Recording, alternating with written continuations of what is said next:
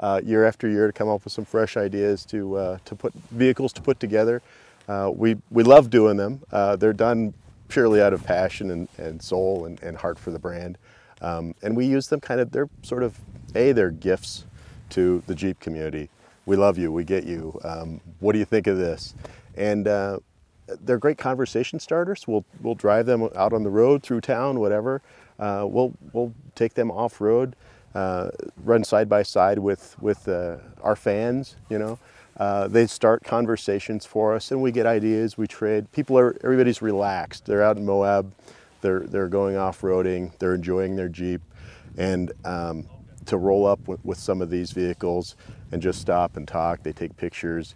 And we're always got our antenna up. We're looking for ideas or things you do or don't like about your Jeep, and we want to respond.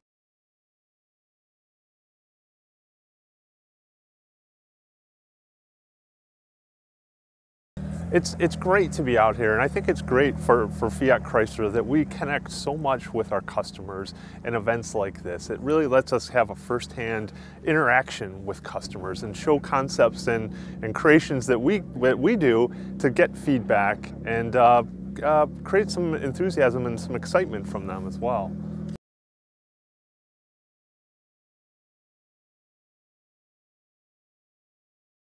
Every year we come uh, not only with uh, uh, parts that we have already in the market, but also prototypes that we want to share with our customers to gather feedback.